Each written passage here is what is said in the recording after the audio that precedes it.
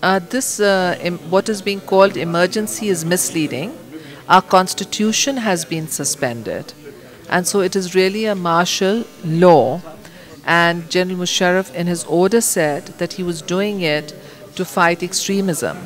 But many people believe that this was done to stop uh, Supreme Court of Pakistan from giving an adverse judgment. Now, for whatever reason it was done, I don't want to go into all that. We have to see where do we go from here.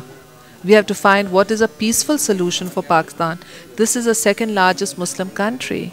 Pakistan must be saved. I'm worried because I've seen in Afghanistan how the central authority disintegrated, how different warlords came, how there was bloodshed, and brother was killing brother.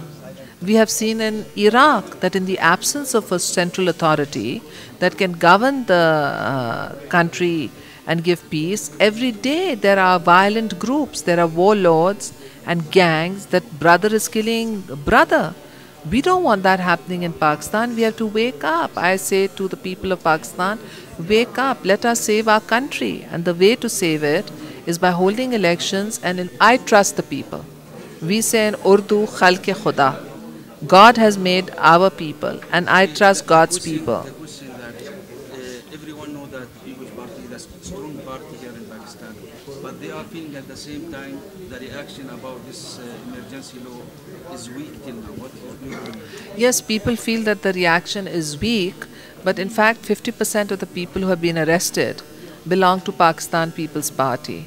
So I feel that there's a deliberate attempt by some quarters to try and say the People's Party is not that high, because when you say that, who does it benefit? It doesn't benefit the people or the Democrats.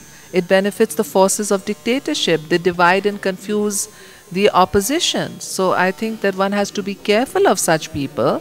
They're either doing it deliberately to support dictatorship, or maybe they're doing it not deliberately, but they don't understand that at a moment of crisis, you must stop attacking each other and you must keep your focus on the destination. And the destination here is to end dictatorship.